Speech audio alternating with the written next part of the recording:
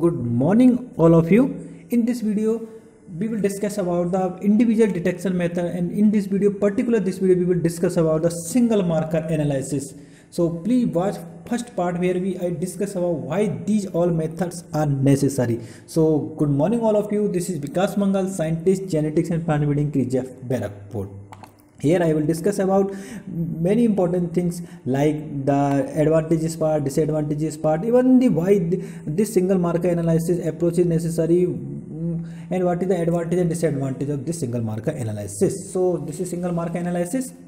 So friends this name indicates a single marker means we are using only the one marker at a time to detect the qtl or the genomic region which is responsible for the variation in the phenotypic trait so friends, to perform this single marker analysis, the breeder must first develop a population that is segregating for the trait of interest. Segregating population means either breeder can use the F2 population, the breeder can use this uh, the backcross backcross crossing mapping population because these all are the segregating mapping population. So first we plant breeder have to develop any breeding uh, segregating population of depending upon the objective of the plant breeder. So for all QTL mapping methods, simple QTL mapping approach, the segregating population is very needed. And one marker is involved at a time to find the QTL marker association. Ultimately, what we are identifying, we are identifying with the help of marker, we, are, we want to identify the location of the QTL with the help of marker we want to identify the what is the percentage of phenotypic variation given by this qtl our aim is this that's why this is single marker analysis. Sma can be implemented as. So we can use implement sma in the form of either t-test either anova linear regression and uh, likelihood ratio test and maximum likelihood method. I will discuss in these points and also. And the most important thing regarding the Single marker analysis that the gene order and the complete linkage map is not required in case of single marker analysis. You don't need any linkage map, you don't need any gene order for performing this single marker analysis. And the experimental population used for QTL mapping in most plant species classified as the backcross or F2 type population. I already discussed that uh, to perform SMA breeder must first develop a population that is segregating. So this backcross population and this F2 population the segregating populations. And how I, we will say that this QTL is located or not if it should be significantly the trait should be significantly different among the marker genotype then we can say it is located near a marker.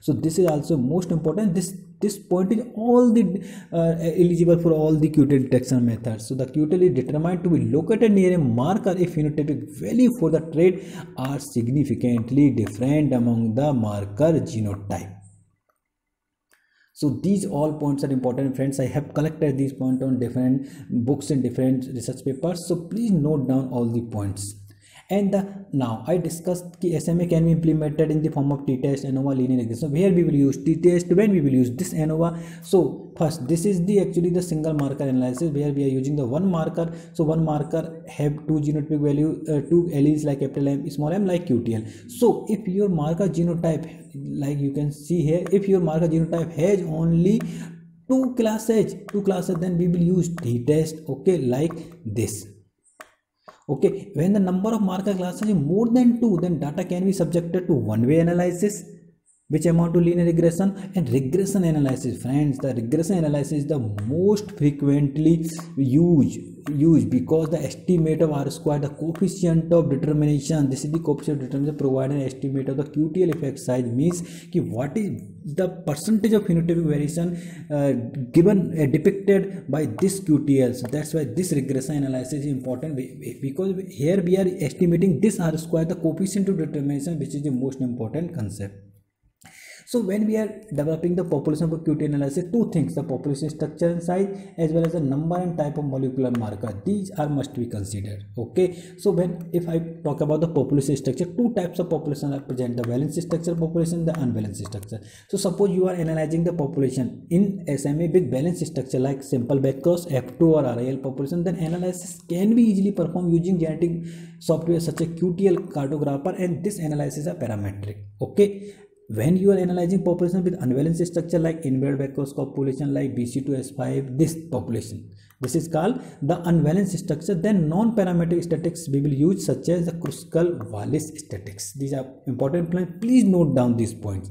And second point population side def it, this is a universal point. If your qtl so very small effect so for detecting this qtl you need the large number of individuals. This is eligible for all the matters. The smaller the effect of the qtl the larger the number of individuals required to detect. It this is the most important point friends and the chance of detection of QTL depend mainly on the two factors. First, the magnitude of the effect size of QTL. If your QTL is showing very major effect, have large effect, then you need only the small number of individual in a population. If your QTL is showing very uh, small effect, then for detecting this QTL, you need large number of populations.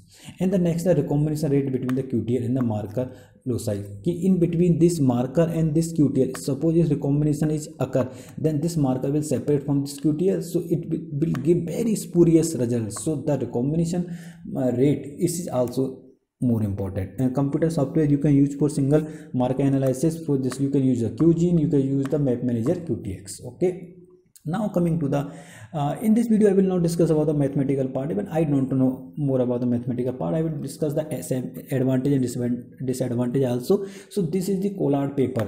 You, if you will write collard uh, et al 2005 then you will get a very wonderful paper which is very important paper for QTL mapping QTL mapping methods marker mapping population it is so advantage it is simplest method of QTL dissection because you are using simply t test and over regression analysis analysis can be perform using basic statistical software because there is no such type of any QTL into QTL interaction is here QTL into environment interaction here so analysis can be perform using basic statistical software and analysis does not required a complete linkage map this is also important and disadvantage the QTL effect may be underestimated due to the recombination between the marker and the QTL. Suppose if any recombination occur then SMA may be failed. It will give very spurious result okay?